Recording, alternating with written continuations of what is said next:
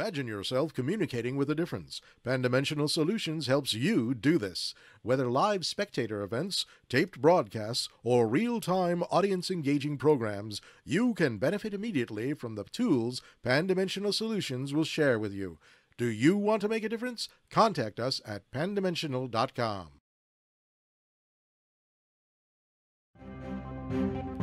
Welcome, everyone, to this edition of the State of Greater Western New York Report. Join us each episode as we discuss fantastic topics ranging from history to science to the strange and the wonderful, as well as the treasured spirit with which our region has infused America. We challenge you to consider all things Greater Western New York, from our region's very beginnings to how it inspires, how it empowers, and why it is so admired. Here's the host of the State of Greater Western New York Report, Chris Carosa. hey, how'd you like the way that thing came out? Welcome, everyone, again to another wonderful week in wonderful Western New York. We will be talking about some very interesting topics today. A little bit about history, maybe some history that they didn't teach you in school, but they should have.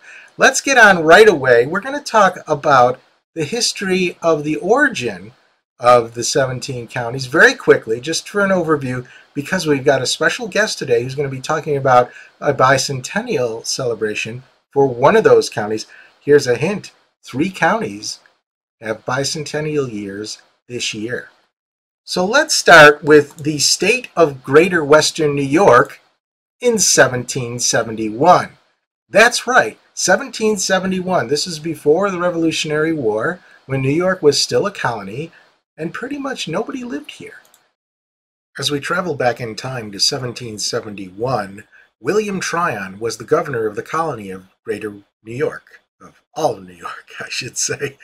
He was the governor also of North Carolina prior to being, being the governor of New York.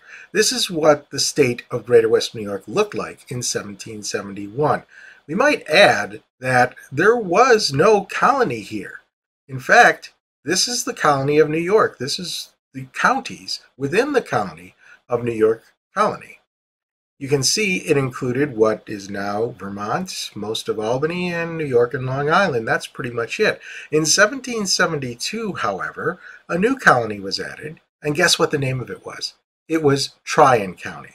Tryon County extended from roughly Albany all the way through the western extent of New York Colony. Now, we didn't really know where the western extent was, even though there's a line drawn here. People just weren't sure, so it was just said, well, it went on for wherever New York ended. Now, in 1783, it was determined that New York State at that time ended pretty much at the shores of Lake Erie. Now, this graphic here is a little off because it did extend that little corner where the Erie, Pennsylvania is. It did extend through that. That was later given to Pennsylvania. But notice something that's missing here. The state of Vermont is no longer part of the colony of New York. Vermont split off in 1777 to become its own independent nation, not a state. That's one, why it wasn't one of the original 13 states. At that time, it was its own independent nation. So this is 1783. Now, who is this William Tryon guy? Well, before we get into that, we should know a little bit more about what he did and how he did it.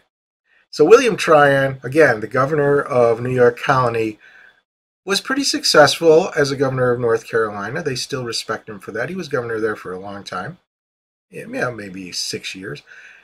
In 1776, during the Revolutionary War, Tryon and New York City Mayor David Mathews tried to kidnap George Washington, and they they they messed up the whole thing.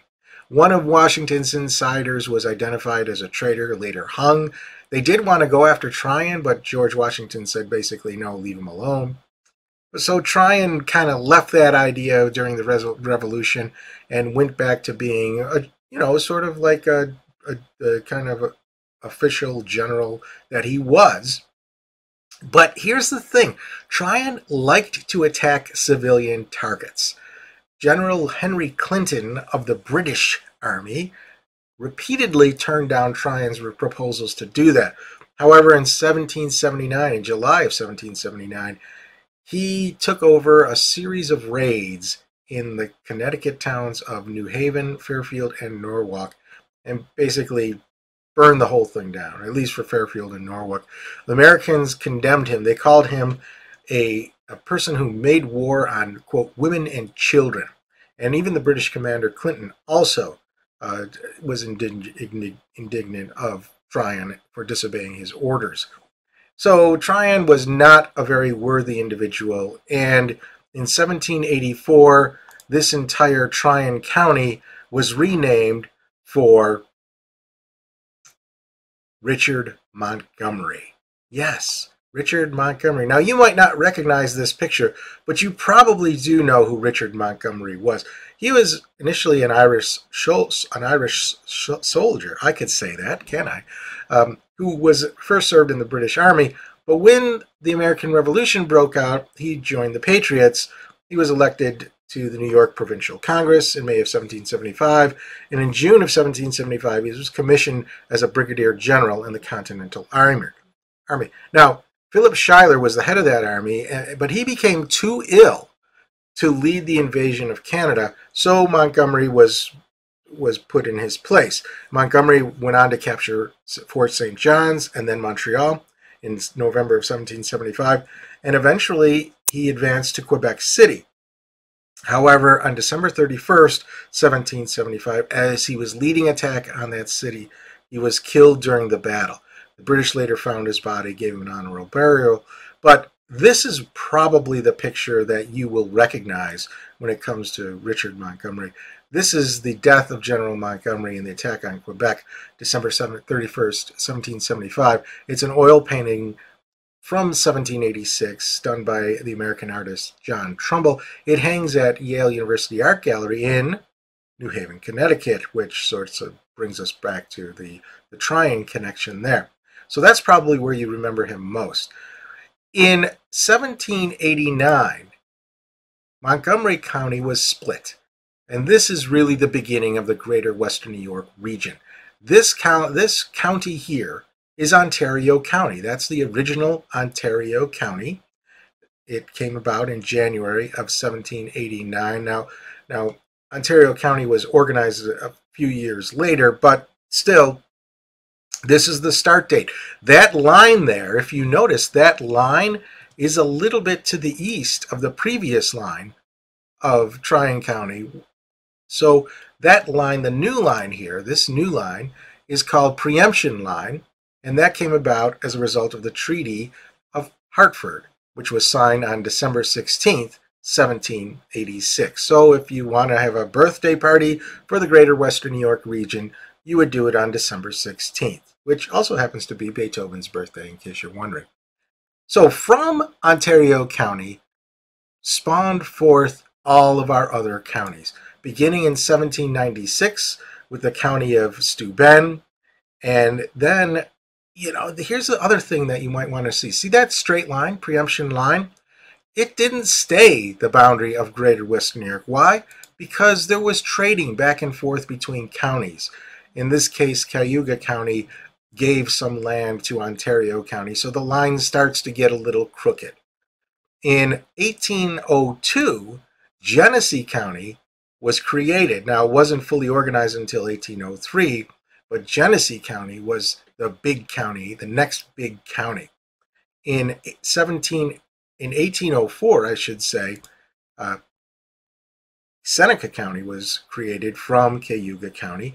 In 1806, Allegany County was created from Genesee. And then in 1808, another interesting thing happened. Niagara County was created and formed.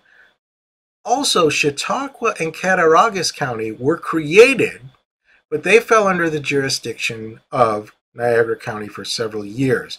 Chautauqua didn't fully become organized until 1811, and it wasn't until 1817 that Cattaraugus County was fully detached and became its own county.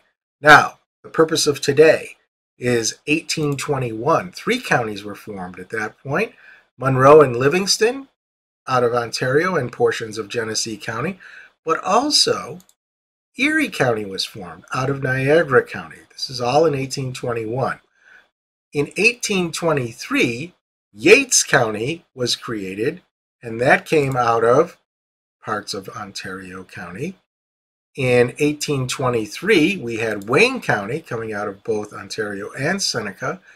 And in 1825, we have Orleans County. I'm sorry, before that, in, uh, in 1825, a, a month or so before, we had a trade between Livingston County and Monroe County, where when Monroe got a little bit more from Livingston County. Then, a month later, we had Orleans County coming out of Ontario, I'm sorry, out of Genesee. Uh, in, it wasn't until a decade later, in 1836, that Chemung County was created, mostly from Tioga County. And in 1841, we had Wyoming County coming out of Genesee County. Finally, the last county to be created was Schuyler County, and that came out of Chemung, Steuben, and Tompkins County to form what is now, to the most extent, the 17 counties of the greater Western New York region. Today, we'll be focusing on one of those counties, Livingston County, who celebrated its bicentennial a few weeks ago and will continue to celebrate throughout the year. Historian of Livingston County, Amie Alden. Hi, Amie. Hello. How are you doing? I'm great today. Thank you. How are you? Good. Well, let's start off with uh, just a couple of quick notes about the very, very beginnings of Livingston County. Can you maybe give us a flavor for what prompted the county to be created and maybe who, if there were any major characters, or even where did the name Livingston come from? Uh, well, to start with that one, uh, our county was named in honor of um, Robert R. Livingston, who was the chancellor for the state of New York. He never resided in Livingston County, but he was um, a revered uh, uh person in, in American history. And so um, when they decided to form Livingston County, they that's the person they chose. So, so when we we have the name of Livingston County, but what maybe prompted them to start the county? What was it? A growth of population? Yeah, from what I remember in the history books, Livingston County was sort of like in the middle of everything, and it was yeah. maybe perhaps recognizing that that prompted people to create their own county. Yeah, it was um, the Wadsworth family who was the prominent um, pioneers and and um, of this of this whole area. James and William Wadsworth um, had vast land holdings, and um, it was a long distance to travel uh, between to Canandaigua to record a deed um, on the eastern um, side of Livingston County, or to drive or to ride all the way to Batavia in Genesee County to record a deed. So I think it was in their interest and political interest as well to have their own representation uh, for Livingston County and the convenience of having the county seat um, much closer to where they own property. Excellent. And where the uh, population growth had had occurred. Well, before we get to the break and start talking about some bicentennial activities, can you maybe share with us some famous names people might recognize who who were in Livingston County or did things in Livingston County? Yeah, a lot of a lot of familiar names in American history. Um, one of the earliest that people, uh, students especially, might recognize is Daniel Shays uh, the leader of Shays Rebellion. He came here uh, uh, to settle and live a quiet life at the end of his life. Uh, Clara Barton uh, came here after the Civil War to recuperate at the Jackson Sanitarium, and she she was so enamored with this place that she um, she established a home here and um, the first chapter of the American Red Cross. Uh, Francis Bellamy, uh, who the author of the Pledge of Allegiance, uh, was born in in Livingston County. The author of the original Pledge of Allegiance before some um, changes to the um, uh, allegiance was made to the pledge was made. Um, Someone not as familiar might be Seth Green, a Rochester native who um, was one of the first in the country to uh, experiment with fish um, artificial fish propagation. And so the oldest fish hatchery in the country, and they claim the oldest in the Western Hemisphere, was established here. In addition to William Pryor Letchworth, and one of the one of the um, most uh, visited places in our area is Letchworth State Park. So ah. he had a he had a vast history in addition to his um, his his uh, donating of the park upon his death. The famous Grand Canyon of the East. Yes. So why don't we why don't we take a, a short break here? We'll be right okay. back with more words from Amie and the bicentennial of Livingston County. Stay with us. Through the mists of time, nature and man have both created and buried treasures beyond the imagination. With the ages, these riches slowly dissolve into mere myths until they are forever forgotten.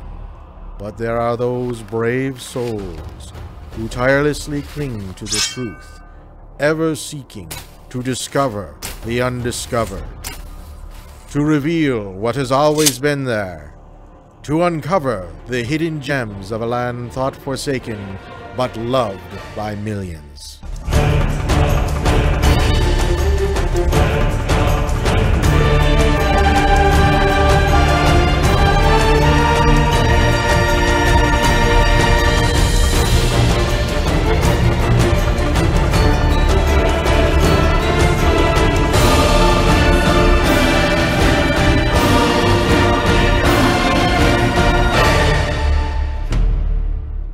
50 Hidden Gems of Greater Western New York.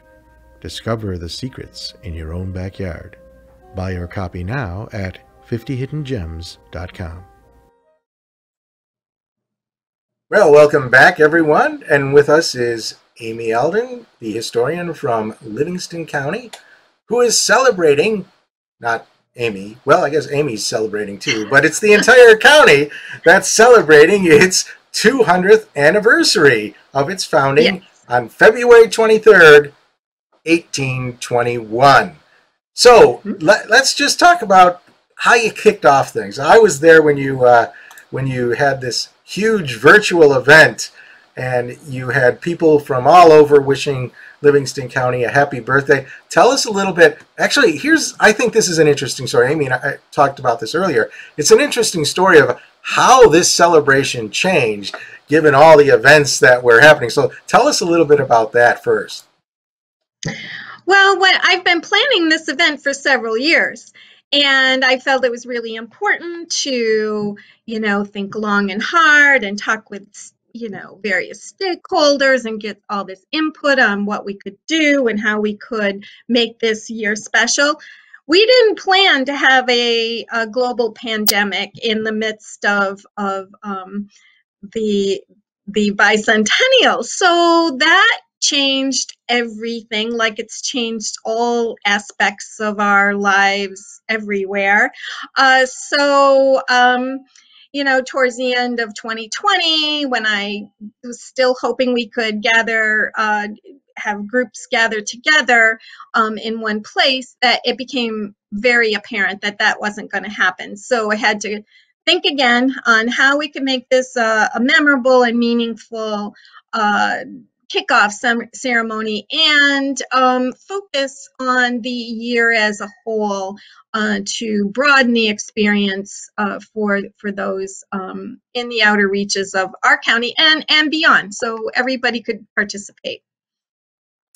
I know, and it was uh, very well participated. It was a it was a pretty wonderful event considering oh, it was you. virtual. Uh, but I thought a lot of people had good things to say. It was great the way you got people who reside in the county to recognize what's going on. One of the things that I've learned just in talking about the history of our region is people are fascinated by it when they become aware of it, and it's it's yes. you know everyday life just makes it really hard for people to kind of capture what's going on. So it's historians like you, the various historical societies, which continually provide this information in this in this avenue. I think it's appreciated by a lot of people. So tell us, what are some of the events that you've got cooked up uh, for this year to celebrate the bicentennial? well, we're going to continue in this virtual mode. Um, we um, are uh, going to have several um, tours, and I have for several years I have um, had uh, worked to expand an on-sale audio heritage tour. So I have ser- several different um, tours throughout the out the county museums and landmarks and we have a women's history trail. So we'll be continuing to to expand that and that link is on our website. I'll talk a little bit about that later. I'm going to have three um, historical marker dedications um, throughout the year um, eh, we we're launching a geocaching trail, a bicentennial geocaching trail, and that will encompass the entire county um, for all those that um, are involved in geocaching. They they are so excited, and uh, so I think it will draw families and others into um, this to experience it for the first time. So one of the things I'm I'm really excited about is we're going to be um, putting together a classic uh, t- car tour uh, that will wind through the entire county um, in August. And uh, that will involve, I'm told, we may have as many as 75 cars, that um, it will be quite uh, an event and so typical of um, uh, of what we've all seen throughout this past year to to commemorate events. And we're going to have a tree planting um, a day. We're going to have um, another thing. I'm really I'm excited about everything, but another thing I'm really excited about is the fact that um, uh, me, um, myself, and my deputy historian are going to be launching a women's biographical review book uh, publication featuring 200 uh, women and um, their their uh, uh, review of their of their lives throughout um, all the eras in in Livingston County history, and that will come out in the fall. And we'll wind up the year with the typical, you know, time capsule, and hopefully um, some of these events will we will be able to safely gather with people and and and those that want to celebrate and commemorate with us. I'm interested in the the work that you're doing on the 200 women. How do you get your source information for that, especially going far back? That's really where I'm interested in. How when you go far, how far back did you go? Let's start with that. Well, we go back to um, Native American um, era um, of you know we we um, it, it is tough. You know, documenting women's history, I think for for so long um, was never done, and then it's it's still fairly recent where um, women's history is even sort of acknowledged as as a separate uh, subject and one um, that deserves more attention and and research. But we dig it, it, it. You know, we dig and dig and dig, and we've had a lot of input from people in the community. We reached out to to people from uh, our our community and beyond to um, uh, you know provide information on people that are women that they thought um, had done we the subtitle is achievers leaders and role models but what i want to do is include women from all walks of life not just the ones that have achieved something you know so extraordinary but ordinary women in um, that have been able to um, uh, that are trailblazers in their own right. right. So it'll be a variety. Are you are you sharing this information ultimately with the Seneca County uh, Women's Museum or? Uh... Well, the book will be available, and um, we will probably also feature um, a lot on our website. That's something that I've really felt as a public historian that providing information online is the best way to disseminate information to the public. And so we're not in the book, you know, we're not writing a book to make money. Um, right. You know, we're writing a book to share what we have, um, the research that we have done, and to honor Anna and um, the legacy of, of women and all the other all the other local history subjects that you know we've we've researched over the years. So. I know you wanted to mention more about the website. Why don't you tell us a little bit more about uh, what it is, maybe how people can get to it, and uh, things like that? Well, um, I am. Um, I would be remiss if I didn't thank the uh, the county Livingston County Board of Supervisors for all their support.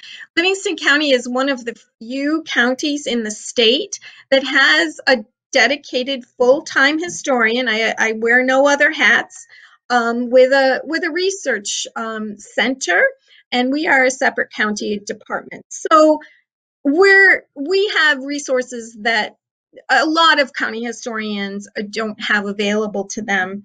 Um, so we have a, a, website. It's if you go to livingstoncounty.us and click on departments and um, county historian, you can explore the types of um, services we provide, and we provide services at no charge um, because the vast majority of our um, primary um, uh, sources are, have been digitized. I shouldn't say the vast majority. A huge amount of our primary sources have been digitized, and um, we we share them um, readily with anybody.